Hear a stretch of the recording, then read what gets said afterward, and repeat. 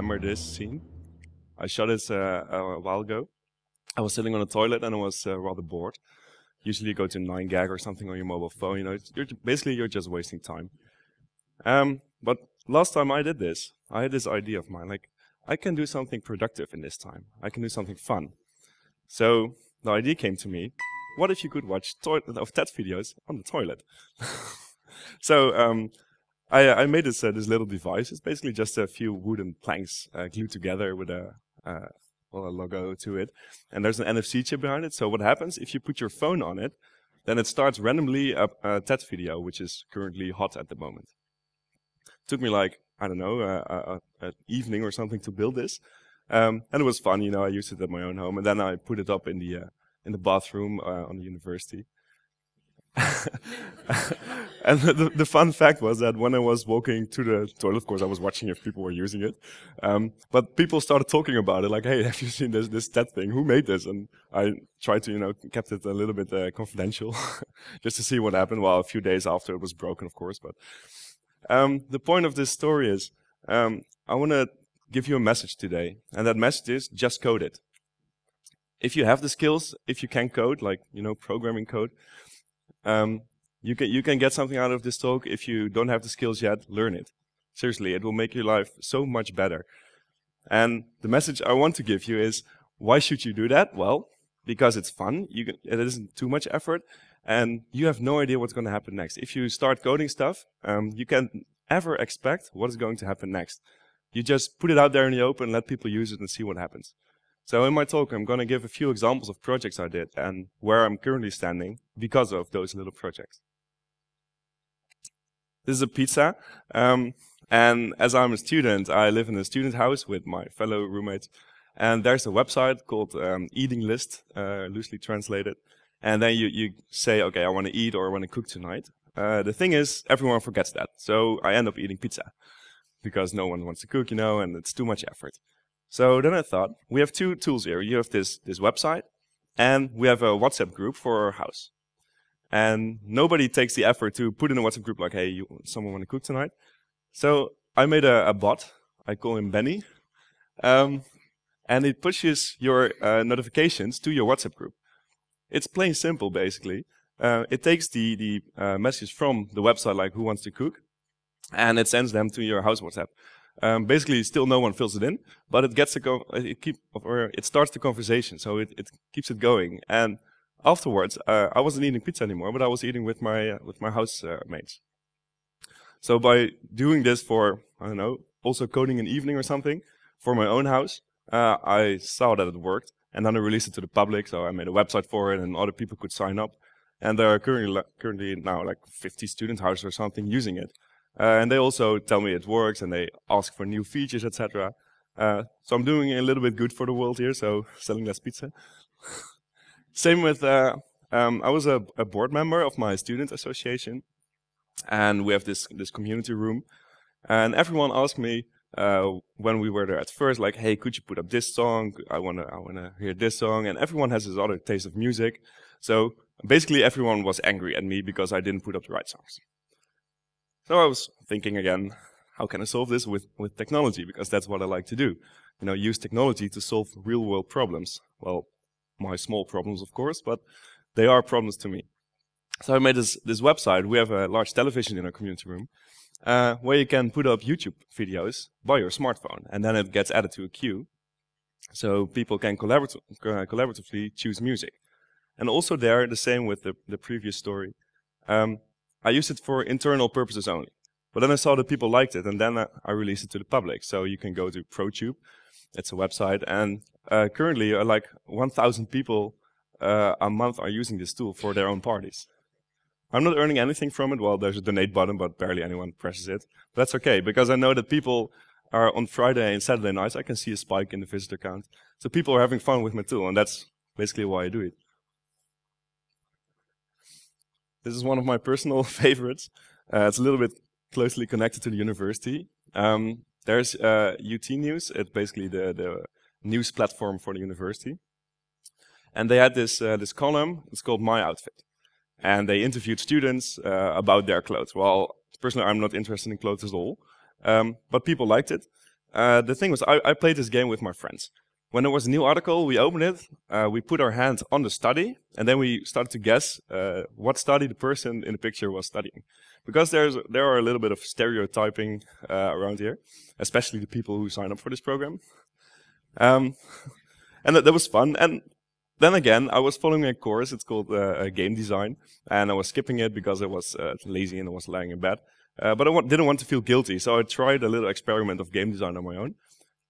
So I made a, a, a game out of it, because you have this information, you have a picture, and you have the study. I can I can write a program that extracts that information. It's really simple if you know how to do it, of course. But then I made a game out of it. It's called Guess the Study. And basically what it does, it, it collects all the pictures and all the studies of the people, and then it uh, shows them to you uh, in a specific order, and then with one correct study and three false studies. So you play it, and your score is displayed. So, of course, she's a hipster, you can see that, so she's studying industrial design. Um, this was just a little joke of mine, you know, and I'm not sure if she's in the room here, but this was just a little joke, you know, and then what I do with that stuff, I know I put it on Facebook and see what happens. And well, this kind of went viral in the university. There were like over 200 likes here. Everyone featured it. I've got 5,000 visitors in a day. Uh, everyone was playing it. That was that was the fun part. Um, it was it was a little bit like the the hot or not game, you know, which Mark Zuckerberg made when he before launched Facebook. I don't want to say I'm going to be the next Mark Zuckerberg, but it was the same stuff, you know, rating people uh, you know. So that kind of works. Um, this has taught me that if you do something fun, and something fun, you know, people like to judge other people and talk about other people. Uh, people share this. This has been shared so many times, uh, and everyone has played it. So that's that's a lesson it has taught me by just coding stuff. You know, I had this problem. I was doing it manually, you know, putting a hand on the screen, and then I thought I can do this by code. So that's something uh, it has taught me. Like just code something and see what happens. I did never expect this. this is also I'm I don't want to talk too much about all my projects, but this is one of my most fun and favorite ones. I, this took me two hours because McDonald's had a new app, and if you installed it, you could get a free hamburger once. And I thought, Ah, I can hack this.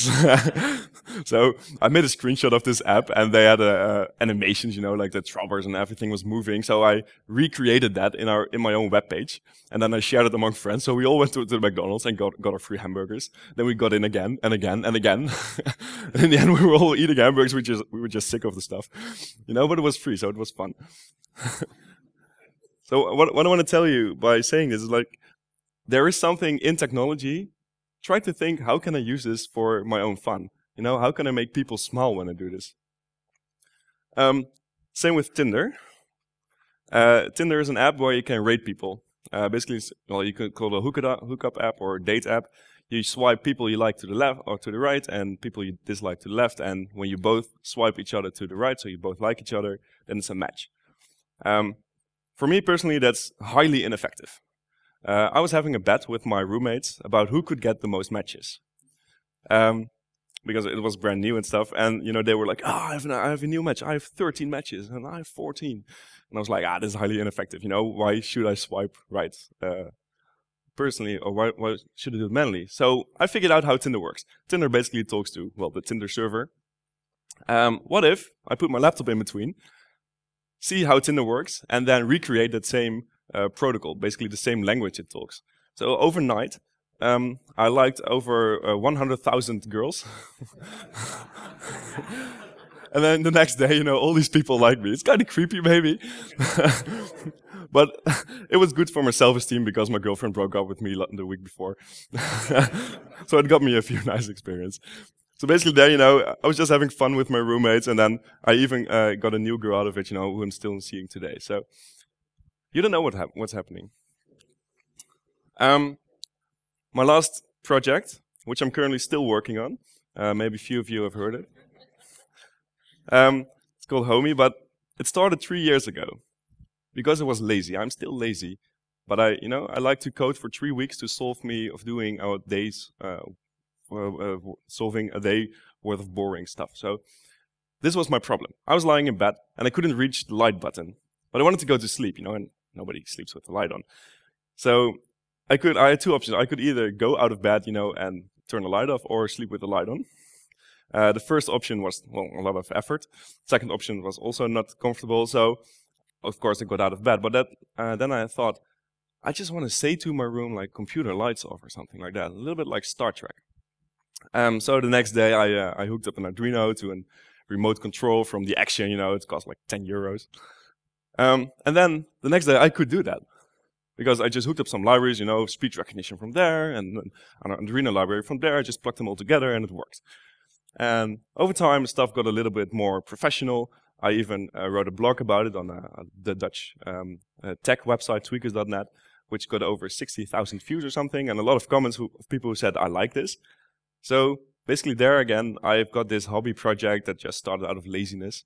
Um, and then suddenly I, I, felt that I could do more with it. That's when I, uh, I started uh, this project. It's called Homey. I'm currently working on it with my co-founder, Stefan, uh, and a team of engineers. Uh, we're currently developing it.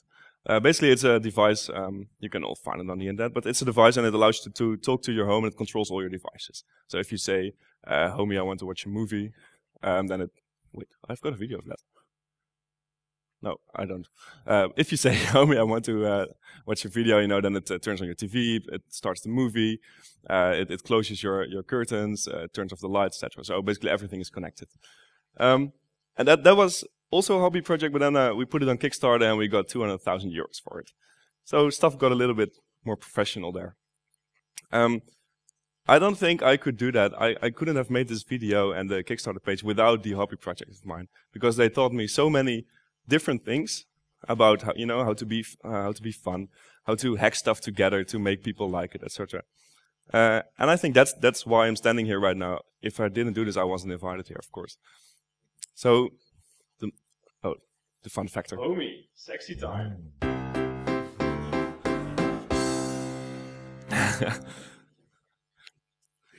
so, what I want to tell you guys today, just code it. If you can't code, learn it. It's it's not so hard if, if you uh, as you think. If you can code, just do it. Don't stick around with your RDs. Just do it. You know, it, it will cost you an evening, but otherwise you you would have wasted that on Netflix or drinking beer. So just do it and see what happens. Thank you very much.